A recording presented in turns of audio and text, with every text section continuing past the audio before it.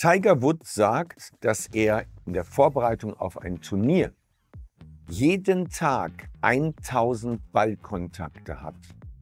1000 Mal schlägt er einen Ball. Jeden Tag. In den Wochen, in den Monaten vor einem Turnier. Okay. Tiger Woods, der muss wissen, was er tut. Michael Phelps. Michael Phelps hat im Schwimmen alles gewonnen, was es zu gewinnen gibt. Und er sagt, wenn ich einen Tag nicht im Wasser bin, brauche ich anschließend zwei Tage, um mein altes Niveau wieder zu erreichen. Das heißt, wenn du einen Tag nicht im Wasser bist, dann verlierst du drei Tage an Entwicklung. Und Michael Phelps war bis zum Ende seiner Karriere jeden Tag im Wasser. Jeden Tag im Wasser. Reinhold Wirth, der Legende nach, ist es bei Wirth verboten, sein Auto während der Arbeitszeit zu tanken oder zu waschen. Also wenn man es wäscht, bekommt man sogar eine Abmahnung. Okay, warum ist das so? Warum ist er da so streng?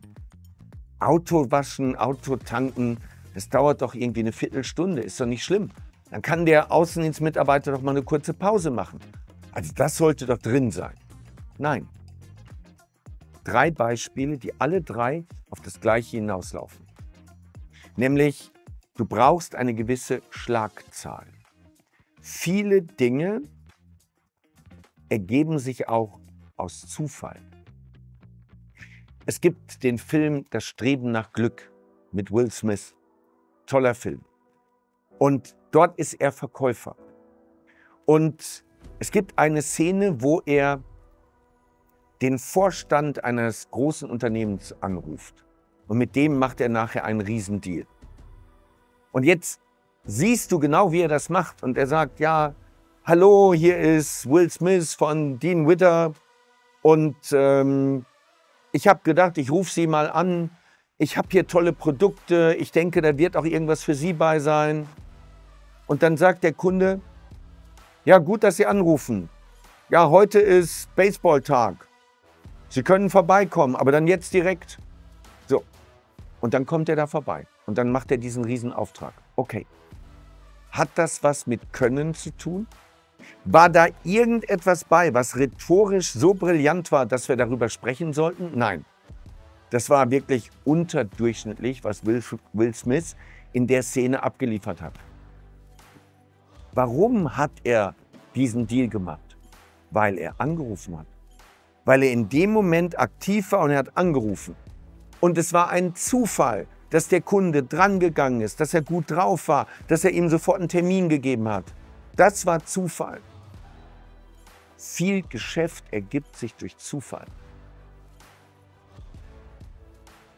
Einer meiner Kunden im Mentoring-Programm, eine Führungskraft, der sagt, Dirk, ich habe hier einen Verkäufer, der macht nur 86 Calls obwohl wir ausgemacht haben 100 Anrufversuche pro Tag.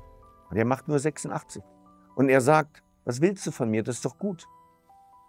Der sagt auch, meine Zahlen sind doch gut. Guck doch mal meine Umsätze.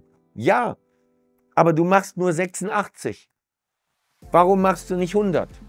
Und er sagt, aber ich mache mit 86 doch schon gute Zahlen. Ja, aber mal angenommen, du würdest 100 machen. Du würdest 14 Prozent, also zumindest 14 Anrufe, Anrufversuche mehr machen. Angenommen, bei 14 Anrufversuchen gehen drei Kunden dran, hast du drei Gespräche mehr.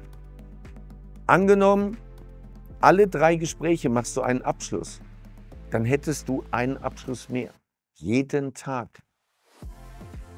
In dem Moment, wo du aber nur 86 machst, statt 100, fehlen 14 Anrufversuche. 14 Anrufversuche sind drei Gespräche. Drei Gespräche sind ein Auftrag. Ein Auftrag hat einen Durchschnittswert von, keine Ahnung, 1000 Euro. Das bedeutet für eine 5-Tage-Woche, du lässt 5000 Euro liegen. Das bedeutet für den Monat, du lässt 20.000 Euro liegen. Das bedeutet für das Jahr, dass du 240.000 Euro liegen lässt. Das ist die Rechnung. Und deshalb darfst du bei Würth dein Auto nicht während der Arbeitszeit tanken. In der Zeit, wo du das Auto tankst, hättest du einen Handwerker besuchen können. Und möglicherweise ist deine Quote 3 zu 1. Wenn du also einmal, oder sagen wir, einmal in der Woche tankst du ein Auto während der Arbeitszeit. Das wären vier Besuche. Sagen wir mal, die Abschlussquote ist 50 Prozent. Dann wären das zwei Aufträge. Sagen wir mal, ein Auftrag ist im Schnitt 1000 Euro. Dann sind das pro Monat 1000 Euro. Im Jahr 12.000 Euro. Multipliziert mit 50.000 Außendienstlern. Die Zahl ist so groß. Da könnte sich Reinhold Wirth sofort ein neues Boot kaufen. Ein zweites Boot, ein drittes Boot. So groß ist die Zahl. So, darauf will ich hinaus habt eine große Schlagzahl. Lernt von Michael Phelps, lernt von Tiger Woods, lernt von Reinhold Wirth, lernt von Will Smith. Aber habt eine hohe Schlagzahl und erfüllt eure Schlagzahl jeden Tag. Im Englischen sagt man no shortcuts, keine Abkürzung. Tiger Woods nimmt sich vor 1000 Ballkontakte pro Tag. Und der macht nicht 900, er macht 1000. Michael Phelps nimmt sich vor, jeden Tag ins Wasser. Und nicht nur 320 Tage im Jahr. Damit würde er nicht so erfolgreich sein. Es geht nicht darum, was du dir vornimmst. Es geht darum, dass du es auch wirklich machst. Und im Vertrieb ist einfach die Regel, viel hilft viel. Und viele Gelegenheiten ergeben sich, indem du den Weg einfach gehst. Und viel Geschäft ergibt sich durch Zufall. Woran erkennst du, dass ein Vertriebler abschmiert, schlechter wird? An der Schlagkraft oder an der Schlagzahl? Schlagkraft ist seine verkäuferischen Fähigkeiten. Schlagzahl ist der Fleiß. Was geht als erstes runter? Woran erkennst du das? Es ist der Fleiß. Das Erste, was du immer beobachtest, wenn ein Verkäufer abschmiert, ist, er wird faul. Er macht keine 100 Anrufe mehr. Er macht 86, 75, 62, 48. Seine verkäuferischen Fähigkeiten sind noch Jahre gut. Aber sein Fleiß, der geht innerhalb von Wochen runter. Und dann musst du als Führungskraft intervenieren. Dann musst du gucken, woran das liegt. Und deshalb habe ich meinem Kunden im Mentoring-Programm gesagt, das darfst du nicht akzeptieren. Du musst einmal das richtig kommunizieren, du musst ihn einmal überzeugen und wenn er das nicht einsieht, dann musst du es erzwingen. Aber du bekommst, was du duldest. Hast du eine Führung oder hast du eine Duldung?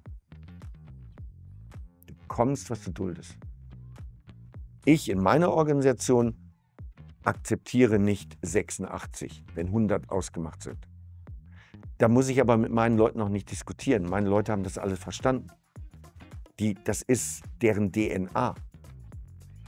Niemand geht, wenn er die 100 nicht erreicht hat. Dann bleiben die lieber noch mal eine Stunde länger. Manchmal auch nur eine halbe Stunde länger. Aber sie machen die 100 voll. Und das Spannende ist ja, Du machst die 100 voll, du bleibst eine Stunde länger und auf einmal machst du noch zwei Abschlüsse. Und du denkst, wow, eigentlich war der Tag nicht gut. Aber jetzt auf der Zielgeraden habe ich noch zwei Abschlüsse gemacht. Bleib dran. Das ist die Kernbotschaft. Bleib dran. Hör auf, dich selber zu betrügen. No shortcuts. Und wenn du dich jetzt wiedergefunden hast, als Telefonverkäufer zum Beispiel, und du sagst, okay, ich brauche immer mal wieder so einen Arschtritt. Ich will auch immer besser werden. Ich möchte auch Feedback haben. Dann ist das Ideale für dich die Telesales Profi Masterclass. Das ist ein Coaching- und Beratungsprogramm, was über mehrere Monate geht. Und du hast dreimal in der Woche die Gelegenheit, mit meinem Team zusammen daran zu arbeiten, immer besser zu werden. So, und wo findest du mehr dazu? Hier. Wenn du da klickst, dann ist das der Link zur Telesales Profi Masterclass.